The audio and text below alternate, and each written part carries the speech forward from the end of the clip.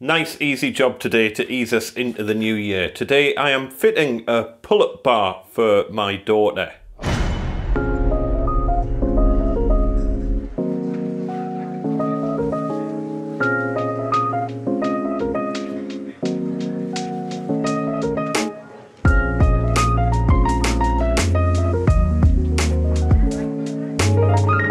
Hiya folks, welcome back. A nice little easy job today. Well, you'd think it would be easy, but as per usual, the instructions that came with this uh, pull-up bar are complete nonsense. Go on then, this should be a laugh. Rotate out both ends of the rod, mount a rubber pad onto each end and place the rod against the mounting position.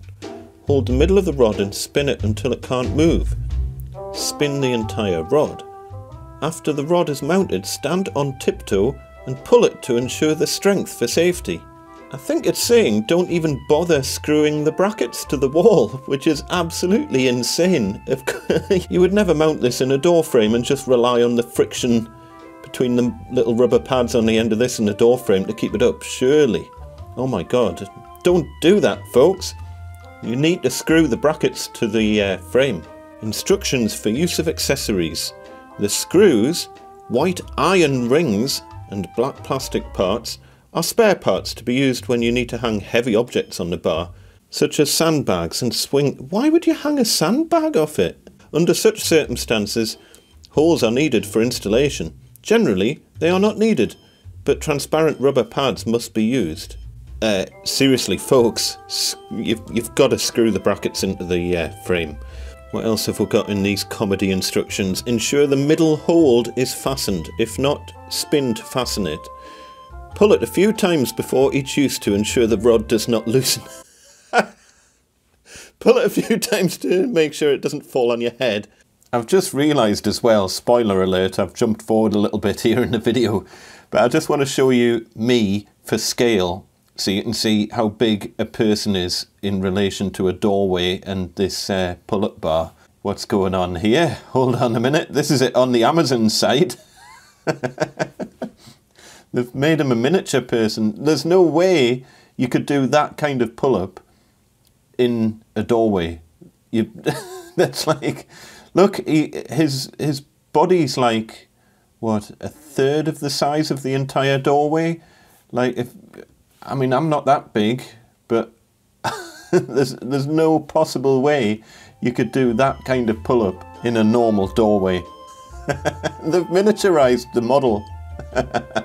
the direction of movement or hand force must be the same as the direction of tightening the middle hold so as to ensure that the middle bar will not loosen absolute bobbins. So I figured I would show you how I would approach putting up a pull-up bar like this. It's going to go in the doorway here, just on this particular door frame. It's worth mentioning that on this particular door frame we've got a nice big wide door stop and this is absolutely perfect for attaching the pull-up bar into and plus I've also got the flexibility to go in this section here as well. This is also wide enough. Whereas if you've got a door frame that looks more like this, where you've got a really narrow stop and then not very much space on the outside of the stop, your options are really limited. There's not enough space on the stop itself and there's not enough space here. And obviously you need to make sure that you can still shut the door. So personally, what I would probably do in that situation is I would just notch out a section of the stop obviously you're not going to be fitting at a door handle height, but it's just so you can kind of appreciate the scale of this. But I would probably notch out from, you know, a section like that. Just literally cut out a little section of the stop. It's easy enough to glue back in and filler afterwards.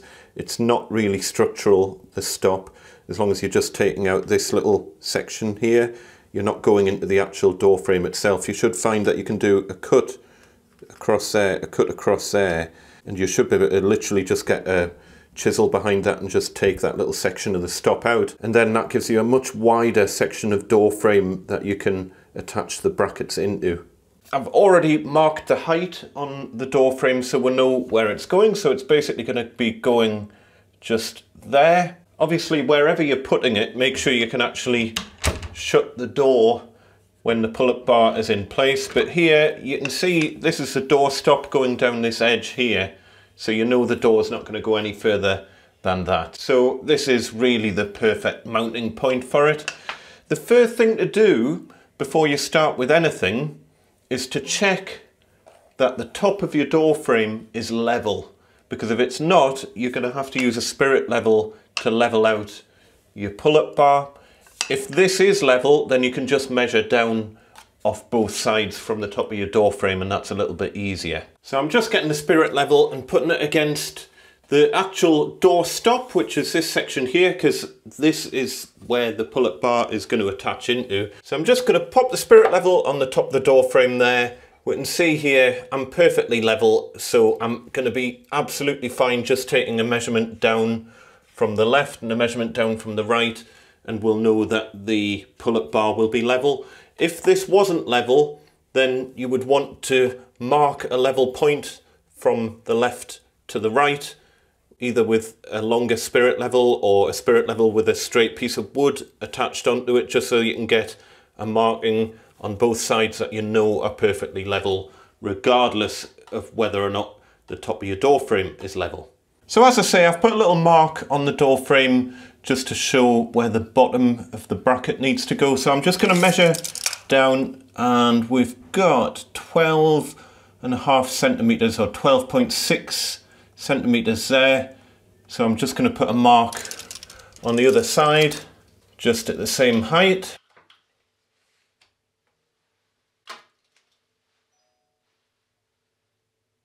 So these are the brackets that come with it. You can see they're really straightforward, basically just four screws three around the outside and one in the middle and I'm assuming the middle screw go through this little kind of bush thing. The instructions don't match up to what this looks like, which is no huge surprise, but I'm just going to kind of work it out and I'm sure it'll be fine. You can see on the end of the pull-up bar itself, it's got this kind of rubber inset thing, washer type thing, and I'm assuming basically what's going to happen is that that's going to go over the top of that and kind of lock itself in place. As per usual, the screws that came with it are awful Phillips things, really poor quality as well. You can tell they're really lightweight, so they're going straight in the bin. And instead I'm going to use some little 8 gauge by 1 inch round head wood screws. Posi drive head on them. These happen to be Quicksilver screws from Screwfix. You use whatever brand you want, as long as it's a decent brand, that's fine. Then I'm just going to line up the bottom of the bracket with the little mark that I've already put on the door frame. It doesn't really matter what orientation it goes in as far as I can tell. Um, so I'm just going to make sure that it's pretty much central to the actual stop itself. Making sure especially that it's not overlapping on the back side because you want to make sure the door can comfortably close. So that's all in line there. I'm just going to put some marks to show where the holes are going to be. And then I am going to drill some pilot holes for these. If they were self-drilling screws, you could probably get away without it. But these are MDF door stops on here and they can be quite dense. So just to give them a bit of a helping hand, I'm going to drill four little two millimeter pilot holes in here.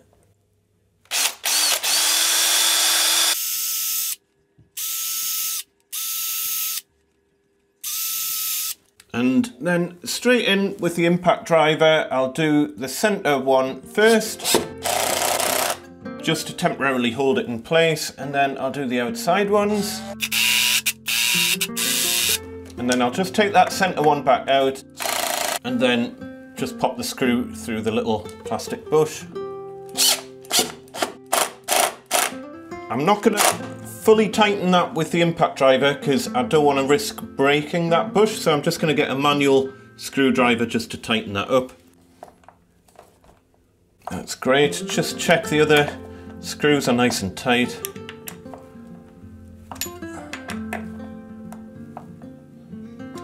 Perfect.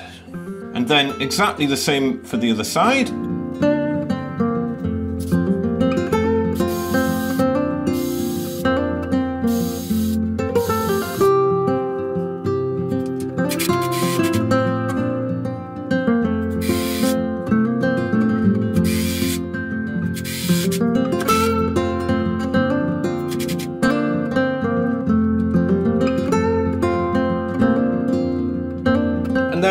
Do, once again, it doesn't particularly tell you this in the instructions, but on the left hand side, we've got like a normal thread.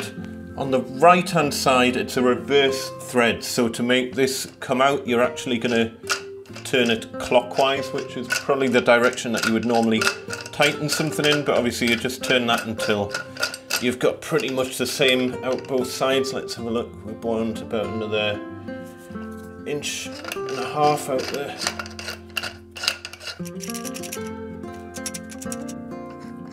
There's a link in the description to this particular pull-up bar, by the way. I've never used it, so I couldn't tell you if it's any good or not, but it's just the one that I'm gonna use.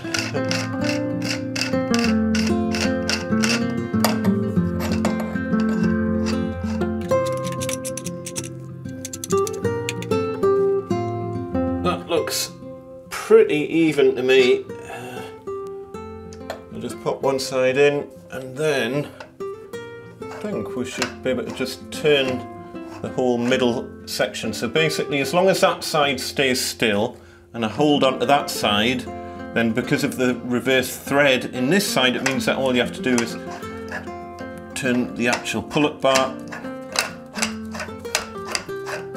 until it's nice and tight. Pretty good to me. Don't over tighten it because you will start to push apart your door frame and you don't want to do that. So don't over tighten it. It wants to be like comfortably tight but not crazily tight. I think that'll do. Let's give it a try.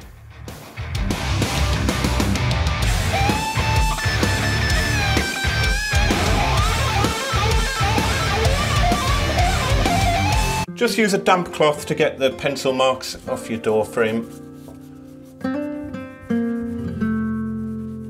If you've got any questions, pop them down in the comments below. I would generally always say follow the manufacturer's instructions, but because the instructions that came with this were completely meaningless, I just had to improvise, which is often the case, but I think that will do the job absolutely fine. It's not going anywhere. There's some videos coming up on the channel all about different screws and what types of screws to use for different scenarios, so do subscribe if you think that that would be useful. Thanks again for watching folks, I shall see you next time. Tatty bye!